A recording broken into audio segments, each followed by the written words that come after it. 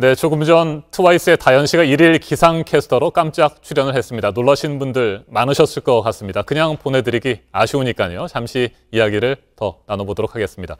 다현 씨, 네. 잘하셨습니다. 어, 너 지금도 너무 떨립니다. 떨리셨어요? 네. 네, 저도 사실은 오늘 좀 떨렸어요.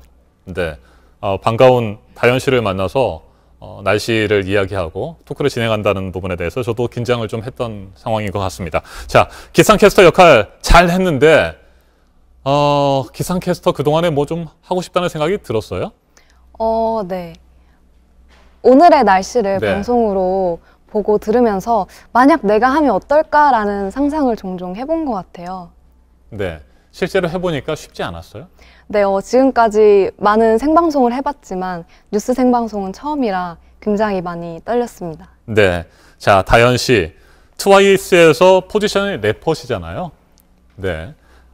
지난해 발표한 곡, Feel Special이라는 곡이 있는데 저도 그 노래 참 좋아합니다. 아, 감사합니다. 그 노래 중에 날씨와 관련된 가사들이 있잖아요. 네. 제가 좀 조사를 미리 했는데 구름이 쫙 낀 햇살, 한 줌 없는 날 이런 가사가 있어요. 오늘 기상캐스터를 해보셨으니까 이런 가사에 어, 랩을 좀 섞어서 한번 불러주시면 굉장히 좋을 것 같은데 어떻게 가능하시겠습니까? 네, 어, 부끄럽지만 네. 한번 해보도록 하겠습니다. 네. 어, 여러분, 오늘 날씨는요, 구름이 짝 낀 햇살 한 줌 없는 날이기 때문에 여러분 우산 꼭 챙기셔야겠습니다. 우산 없으면 우비 챙기세요. 네. 아, 오늘 날씨 중부지방에 비가 내린다고 했었잖아요. 지금 중부지방에 구름도 많이 끼어 있고 그런 상황인데 그 가사와 딱 맞는 것 같습니다. 네. 네, 잘하셨습니다. 자, 어, 얼마 전에 다현 씨 생일이었잖아요. 지난주에 생일이 있었죠. 최근에 코로나19 사태 때문에 바- 밖에 나가서 뭐 사람들 만나고 하는 것도 쉽지 않았을 거고 팬들을 만나는 것도 어려운 상황이었는데 생일은 어떻게 보내셨습니까? 네, 어, 대부분 신곡 연습을 하면서 보내다가 생일에 딱 하루 쉬는 날이어서 가족들과 함께 시간을 보냈고요. 먹고 싶었던 보쌈도 먹고 케이크도 먹고 네. 네. 어, 그리고 멤버들이 깜짝 surprise 축하를 해줘서 어, 감동이었던 날이었습니다. 네, 생일 파티 하던 영상 지금 나가고 있군요. 아, 지난해 9월 앨범을 낸 뒤에 트와이스가 9개월 만에 어제 컴백을 했습니다. 네, 맞아요. 따끈따끈한 신곡이 나왔는데 아홉 명 완전체 컴백이기도 해서 이번 컴백 상당히 감회가 새로울 것 같습니다. 어떻습니까? 네, 어, 오랜만에 아홉 명 네. 완전체고요. 또 아홉, 9개월 만에 컴백하기 때문에 어, 굉장히 설레고 기대가 큽니다. 네. 새롭게 공개된 신곡 제목이 More and More예요. 네, 더욱 맞습니다. 더뭐 이 정도로 해석할 수 있을 것 같은데 어떤 곡이에요? 네, 어, 어제 공개된 저희 신곡 More and More는요, 박진영 PD님께서 작사와 프로듀싱을 해주신 곡인데, 어, 사랑에 빠지면 네. 상대방에 대해 더 알고 싶어지잖아요. 사랑의 설렘과 달콤함이 무르익을 때 상대방을 더 원하게 된다는 그런 감정을 more and more이라고 표현한 곡이고요. 트로피컬 사우, 사우, 하우스 네. 리듬으로 듣기만 해도 청량한 아하. 느낌을 선사하니까요. 여러분 많은 사랑 부탁드립니다. 네. More에서 다현 씨의 파트도 궁금해요. 혹시 뭐 잠깐 불러주실 수 있으세요? 네, 어, 포인트 안무가 있는데요. 네. 함께 보여드리도록 하겠습니다. 멈추지 못해 more, more, more and more. 그러니 한 번 더. 와!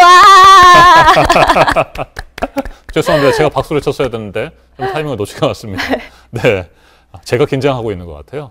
어, 저도 사실 너무 긴장됩니다. 네. 지금 잘하고 계시는데. 아, 자, 코로나 상황을 잠시 얘기를 좀 해볼게요. 코로나19 사태 때문에 그동안에 제대로 활동을 못한 부분도 좀 있을 것 같아요. 계획돼 있었던 도쿄돔 콘서트도 있었고요. 서울 앙코르 콘서트도 있었는데 이거 다 못했잖아요. 많이 네. 서운하셨겠습니다.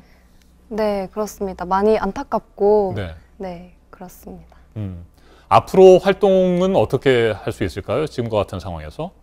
네, 어, 팬분들을 직접 만날 수 없어서 저도 너무 아쉬운데요.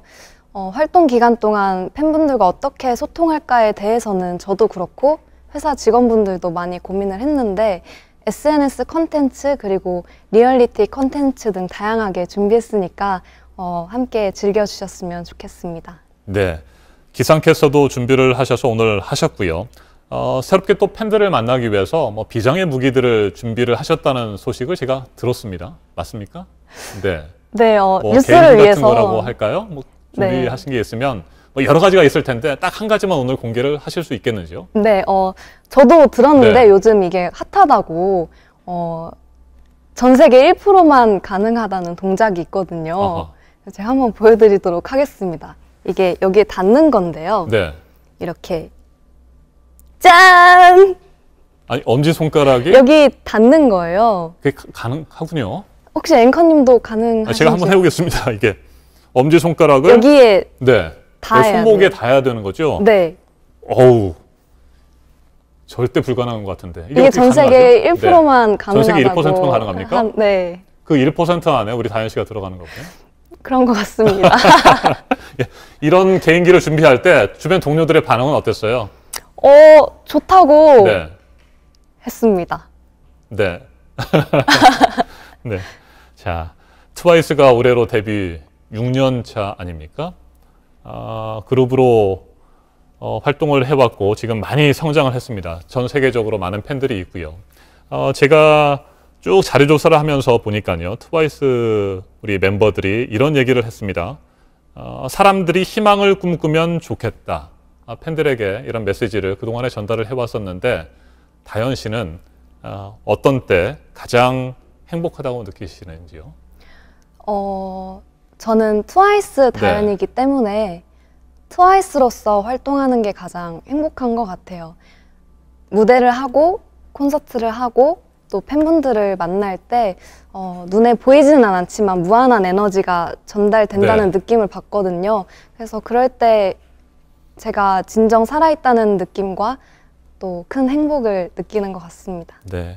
그런 생각을 가지고 활동을 하시니까 트와이스 그리고 다현 씨를 보면 항상 밝고 건강한 그런 느낌들을 우리 팬분들이 받을 수 있는 것 같습니다. 감사합니다. 네. 끝으로 뭐 전 세계에 있는 팬들에게 한 말씀 하시겠습니까? 네, 어, 지금 아직도 실감이 나지 않는데요. 네. 제가 뉴스에 나왔다는 게, 어, 우선 저희 팬분들이 많이 좋아해 주셨으면 좋겠고요. 어, 오늘 함께 도와주셔서 정말 감사합니다. 여러분, 어, 지금 조금 힘든 시기지만 함께 이겨내서, 어, 힘내시길 응원하겠습니다. 감사합니다. 네. 유쾌하고 즐거운 밝은 이야기들 오늘, 오늘 많이 나눌 수 있어서 좋았습니다. 오늘 날씨가 조금 흐리긴 한데 덕분에 많은 분들의 기분도 상쾌해지고 좋아졌으리라고 믿어 의심치 않습니다. 오늘 수고 많으셨고요. 앞으로도 다현 씨 멋진 활동 계속 기대하고 지켜보겠습니다. 네, 감사합니다. 감사합니다.